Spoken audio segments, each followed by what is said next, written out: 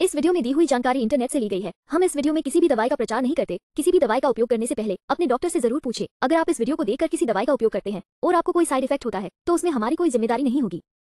Glutafast sachet में L glutamine होता है, जो एक गैर आवश्यक अमीनो एसिड है, जो शरीर में कई चयापचय प्रक्रियाओं में शामिल होता है।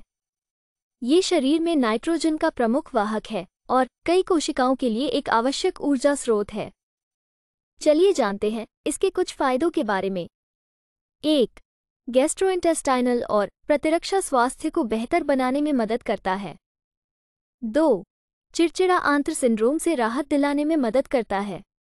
तीन, मस्तिष्क स्वास्थ्य का समर्थन कर सकता है और इसके कार्य को बढ़ा सकता है।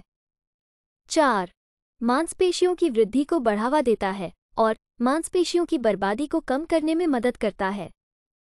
वीडियो को पूरा देखने के लिए धन्यवाद। अगर आपको वीडियो अच्छी लगी हो तो वीडियो को ज़रूर लाइक करें। साथ ही हमारे चैनल को सब्सक्राइब करके, नोटिफिकेशन बेल को ऑल नोटिफिकेशन पर सेट करें।